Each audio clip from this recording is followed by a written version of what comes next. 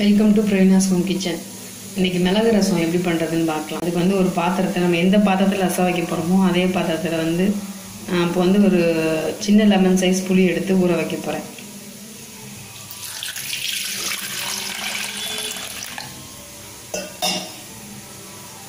இப்போ இதில் சேர்க்குறதுக்கு வந்து நான் ஒரு பெரிய தக்காளி நல்லா பழமாக எடுத்து கட் பண்ணியிருக்கேன். அப்போ தான் அது கொஞ்சம் பிசைகிறதுக்கு ஈஸியாக இருக்குன்றதுனால இப்போ தக்காளியும் இதோட சேர்த்துடலாம்.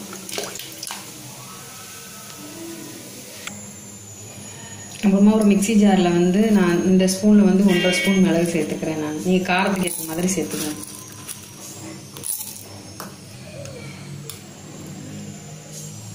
ஒரு ஸ்பூன் சீரகம். ஆறு பல் பூண்டு கொஞ்சமாக கருவேப்பிலை ஒரு பச்சை மிளகாய்.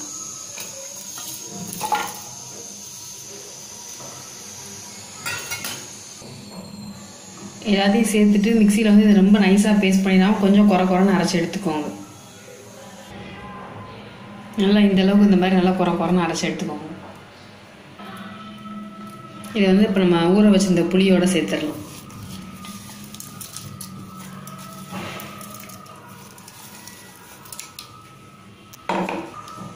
நம்ம ஊற வச்சிருந்த புளிக்கு வந்து நல்லா இந்த பாத்திரம் நிறைய ரசம் வைக்கலாம். அதனால வந்து நான் இப்போ தண்ணி சேர்த்துக்கிறேன் நான்.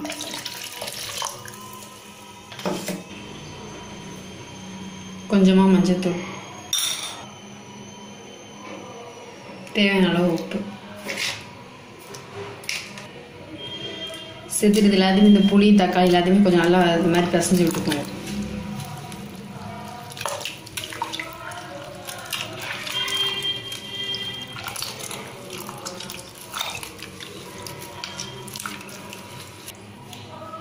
புளி வந்து நான் இதிலே ஊற வச்சு நான் பிசைஞ்சு எடுத்திருக்கேன். அந்த மாதிரி மண்டியாக இருக்கிறது பிடிக்கலன்றவங்க வந்து புளி தண்ணி மட்டும் சேர்த்துட்டு அந்த புளியோட சக்கையை எடுத்துருங்க.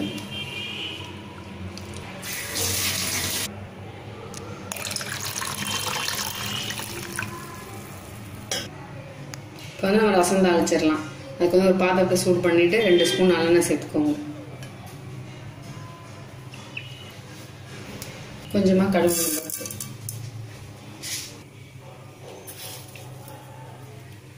ரசத்துக்கு வந்து கொஞ்சமாக வெந்தயம் சேர்த்து தாளிச்சிங்கன்னா இன்னும் கொஞ்சம் டேஸ்ட்டாக இருக்கும். அதனால் ஒரு அரை ஸ்பூன் வெந்தயம் சேர்த்துக்கிறேன் கடுகு வெந்தயம் பொரிய ஆரம்பிக்கும் போது நான் ரெண்டு மிளகா மிளகாட்ட காஞ்ச அப்படி கிளி வச்சுருக்கேன் பழம் சேர்க்குறேன்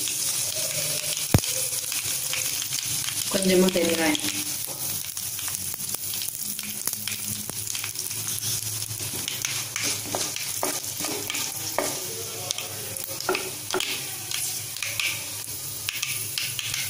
வத்தல் கடுகு எல்லாம் பொரிஞ்சு இந்த மாதிரி கலர் மாறணும். நம்ம பிசைஞ்சு வச்சுருந்தோம்ல ரசம் அதில் சேர்த்து.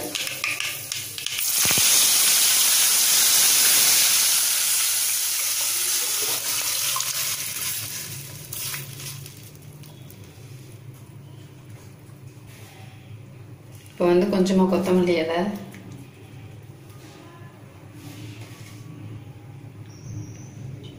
கொஞ்சம் கருவேப்பிலை இலை. சேர்த்துட்டு ரசம் வந்து கொஞ்சம் நல்லா முறை கட்டி வரணும். அது வரைக்கும் அடுப்பில் இருக்கட்டும்.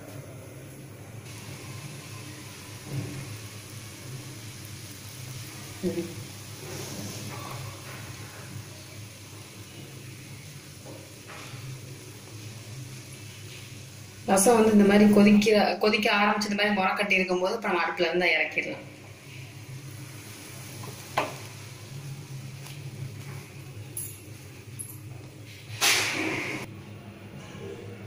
மிளகு ரசம் ரெடி ஆயிடுச்சு நீங்களும் இதே மாதிரி ட்ரை பண்ணி பாருங்கள் இந்த வீடியோ உங்களுக்கு பிடிச்சிருந்துச்சுன்னா லைக் பண்ணுங்கள் ஷேர் பண்ணுங்கள் சப்ஸ்கிரைப் பண்ணுங்கள் தேங்க்யூ